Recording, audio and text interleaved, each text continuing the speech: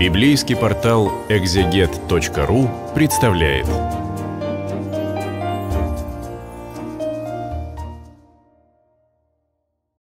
Здравствуйте! На портале Экзегет.ру с вами протерей Дмитрий Сизаненко из Санкт-Петербурга. Сегодня мы с вами прочитаем четвертую главу второго послания апостола Павла Коринфянам. Эта глава представляет собой похвальное слово апостольскому служению – Точно так же, как в первом послании Коринфянам есть отдельная глава, которая представляет собой гимн любви. В действительности это похвальное слово милосердию, потому что это похвальное слово не человеческим взаимоотношениям и чувствам, а это э, песни божественной любви. И в частности там есть неотъемлемые элементы этого литературного жанра, есть э, характеристика этого чувства или этого служения. И главное есть слова о том, почему без него не может существовать мир и почему оно является вершиной всего, что э, существует в этом мире. Таков жанр похвального слова. И мы здесь увидим, что апостол Павел в качестве вот этого последнего аргумента, что это самое величайшее и превосходнейшее, что можно себе представить, Апостол Павел говорит такие слова, которые коринфянам наверняка не понравятся. Интрига состоит в том, что э, в Коринфе побывали какие-то проповедники, которые себя считали суперапостолами и оставили после себя очень много смущения и клеветы в адрес апостола Павла. И с этими недоуменными вопросами коринфяне обращаются к апостолу Павлу, чтобы он им дал объяснение. И в ответ на эту клевету он пишет в послании это похвальное слово апостольству. И тогда мы с вами поймем некоторые моменты, которые без этого контекста остаются непонятными. Бог дал нам по милости своей такое служение, и мы никогда не унываем. Далекие от подстыдных и от того тайных дел, мы не прибегаем к хитрости и не скажаем Слова Божьего. Видит Бог, мы открыто провозглашаем истину – и тем смело являем себя совести всякого человека. Итак, вы уже можете почувствовать, что действительно здесь есть тень каких-то клеветников, оппонентов апостола Павла, вот те, которые занимаются постыдными делами, и поэтому делают это в тайне, из-под тяжка, за спиной. Они прибегают к хитрости, искажают Слово Божие. И в отличие от таких лжесвидетелей, он, как служитель Нового Завета, говорит от Бога, перед Богом, Бог видит, что Он говорит, и Он говорит не от себя, Он приносит ту весть, с которой Его посылает воскресший Христос. И поэтому Он открыто провозглашает истину перед каждым человеком. И то, что Он совершает, называется служением. Что такое служение? Это как диаконское служение. Кто такой диакон? Это посредник между жертвоприношением и участниками трапезы. То есть он кладет на блюдо и подает участникам трапезы то, что было принесено в жертву. Таким образом, он лишь только служитель, который подает на стол то, что не он приготовил. Точно так же апостол Павел говорит о себе, я лишь служитель. Слово – это не мое слово, мое дело только его вам передать. И то, что я получил, это была чистая милость, чистая благодать. Это не мои заслуги, мне здесь нечем будет хвалиться. Моя задача только передать ту благодать, которую Бог хочет передать вам. И в этом мое служение. Именно поэтому я не унываю. Потому что если бы это было мое служение, если бы обо мне клеветали, то, понятно, это выбило бы меня из колеи. Но поскольку все зависит не от меня, мое дело только лишь передать то все остальное должен совершить Святой Дух и от меня не зависит. Поэтому я не унываю. Но в том числе и Божья благодать помогает людям смиренным совершать свое служение вот в такой простоте и истине. Дальше апостол Павел употребляет несколько слов, которые возвращают нас к книге «Исход». Э, есть образ божественной славы, которую Моисей хотел бы увидеть, но увидит со спины, и эта слава запечатлеется на его лице настолько, что он должен будет найти покрывало, и вот поэтому образ какой-то вуали, который будет скрывать сияние, которое человеческий глаз не может вынести. И затем эта слава будет пребывать в скинии. Скиния – это тоже шатер, то есть по-своему покрывало и вуаль. И там Моисей будет разговаривать с Богом лицом к лицу, снимая эту вуаль, свое покрывало. Поэтому образ сокрытого и открытого все время нас отсылает к эпизоду из книги «Исход». Если возвещаемая нами благая весть остается сокрытой, то сокрыта она для погибающих. У них, у неверующих, ослепил Бог века сего ум, чтобы не видеть им света благой вести о славе Христа, который есть образ Бога. Мы поймем немножко лучше мысль апостола Павла, если появится какой-то зрительный ряд. Вот точно так же, как э, согрешившие идолопоклонством иудеи просят Моисея покрыть свое лицо вуалью, чтобы не видеть это сияние, поскольку нестерпимо и глазам. Точно так же апостол Павел указывает на иудеев, которые в молитве покрывают свою голову, но в действительности это какое-то покрывало, которое закрывает их ум и сердца для того, чтобы не видеть сияние божественной славы. И поэтому есть люди, которые остаются э, покрытыми этой вуалью, как будто пеленой, которая закрывает глаза и сердце, и ум. А есть другие, Христос приходит для того, чтобы сдернуть эту вуаль, снять этот покров, и чтобы этот человек увидел свет. Поэтому есть погибающие, которые пребывают с этой вуалью, и есть те, которые принимают Евангелие.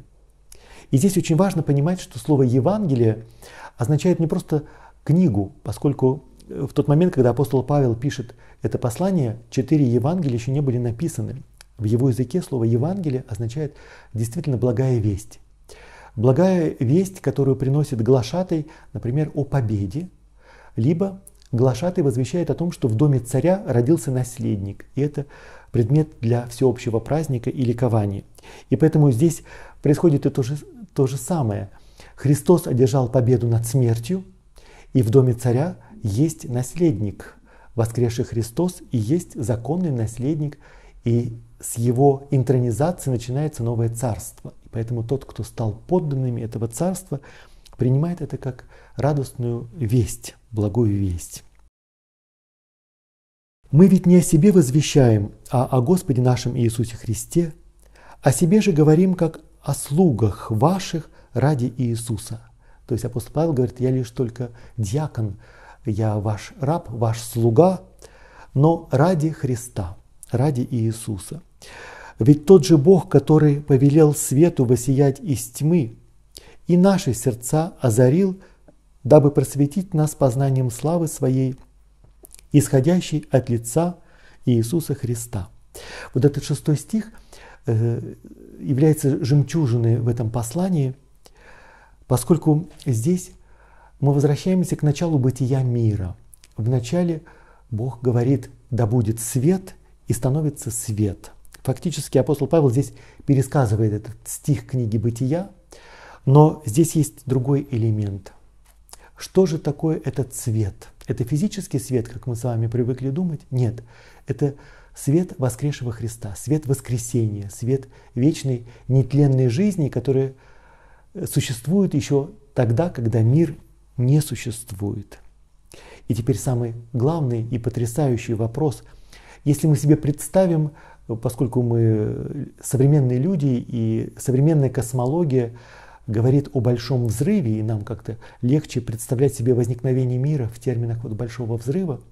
Вопрос, в какой точке времени и пространства произошел этот великий взрыв? Это первая вспышка света. И э, могут быть разные ответы. Но апостол Павел говорит, этот раскат взрыва эта вспышка света произошла в наших сердцах в тот момент, когда мы услышали проповедь о воскресшем Христе. И здесь э, происходит невероятный парадокс и почти как короткое замыкание в нашем сознании, потому что в тот момент, когда мы слышим впервые слова о воскресении Христа, и в нашем сердце оно получает отклик и приятие, как будто возникает новая вселенная, новое бытие. Поэтому история сотворения мира это история о том, как проповедь о воскресшем Христе будет воспламенять сердца поверивших людей, учеников Христа. И дальше апостол Павел говорит похвальное слово апостольству. И казалось бы, он должен сказать, что апостол это самый великий. Были великие пророки Ветхого Завета, но служитель Нового Завета должен быть еще более великим, сильным, славным. Но в действительности то, чем хвалится апостол Павел, совершенно не вызывает никакого восхищения у людей века сего. Он говорит о себе как о глиняном сосуде. Глиняный сосуд, понятно, что глина – это Адама по-еврейски, поэтому э, человек – это и есть сын земли, сын глины, наше человеческое тело, наша плоть и есть глина.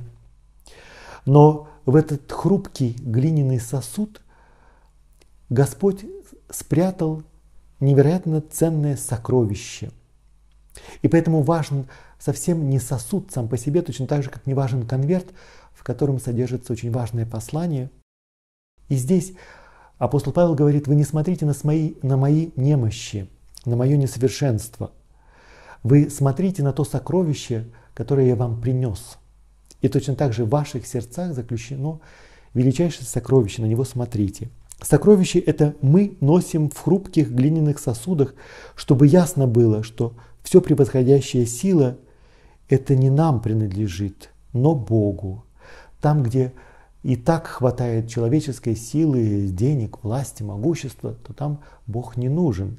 Но как раз именно где момент смерти, нищеты, греха и оставленности, там божественная сила являет себя с максимальной убедительностью и славой. То есть то, что апостол Павел в другом месте скажет, что там, где я немощен, там я всесилен, потому что через меня действует сила Божия.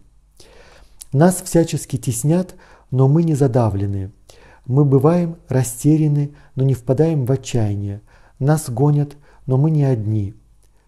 С ног нас сбивают, но мы еще не убиты.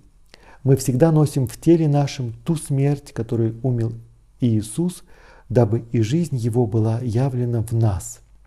В действительности апостол Павел Э, здесь хвалится немощами. Например, теснение, преследование, гонения, которые возбегаются на служителя Нового Завета, являются непосильным бременем, но оно тебя не может раздавить, потому что в тебе действует сила Христа. Если ты умираешь вместе со Христом, то ты становишься и сопричастником Его воскресения. И пока живем, непрестанно – предаемся смерти ради Иисуса, чтобы и жизнь Его явила себя в нашей смертной плоти. Так что смерть действует в нас, а жизнь в вас. Условно говоря, э, коринфяне смущены тем, что э, люди, которые с ними пообщались, им говорят, э, вы говорите, что у вас есть некое Евангелие и некое царство, но тот, кто его вам принес, вы знаете кто? Он работает как раб – он занимается рабским трудом, шьет палатки. С виду он невзрачный. Все, что с ним случается, это тысячи несчастий. И это человек, которым нечем хвалиться. Вы не могли бы найти себе какого-то другого апостола и учителя, которым вы могли бы гордиться? И вот именно с этим смущением коринфяне обращаются к Павлу, и он переворачивает их аргументацию э, совершенно в другую сторону.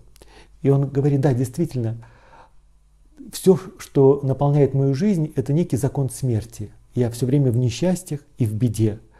Я живу как будто внутри смерти. Но почему? Это для того, чтобы в вас была жизнь Христа. Таким образом, наоборот, э, вся внешняя невзрачность и немощность апостола является надежным свидетельством того, что он носитель жизни, которая расцветет в вас, в моих учениках. В нас тот же дух веры, как и написано, «Я уверовал, потому что говорил». И мы веруем, потому и говорим, ибо знаем, что тот, кто воскресил Господа Иисуса Христа, воскресит со Христом и нас. Мы все будем вместе стоять пред Ним.